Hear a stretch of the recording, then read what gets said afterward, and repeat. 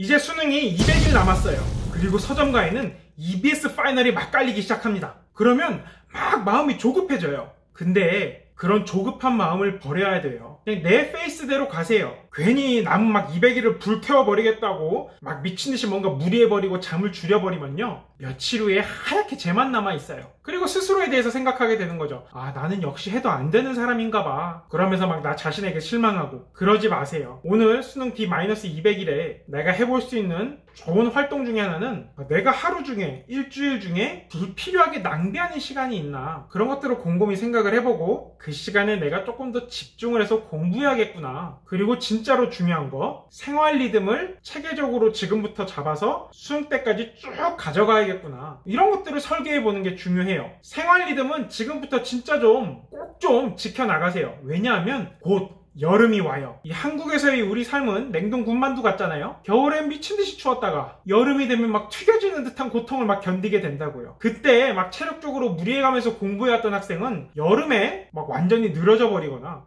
혹은 여름이 끝날 때쯤에 막 골골거리게 돼요. 그런 걸 방지하려면 절대로 잠은 줄이지 않으면서 생활 리듬을 꾸준히 똑같이 이어나가고 맨몸 운동을 평소에 좀 꾸준히 하고 이런 게 필요합니다. 제가 절대비기 그 시험 전 5일의 전사 가능할까요? 여기에서도 제가 답변을 했죠. 오히려 리듬만 깬다고. 진짜 중요한 거는 뭐 하루 이틀 나를 불태우는 게 아니라 생활 리듬을 꾸준히 가져가는 거예요. 지금부터 수능 날까지 쓸만한 생활 리듬을 그대로 만들어서 가져가세요. 자, 다음 영상에서는 제가 EBS 파이널을 입수해서 이에 대해 여러분들과 한번 이야기하는 시간을 가져보겠습니다. 그때까지 모두들 지치지 마세요.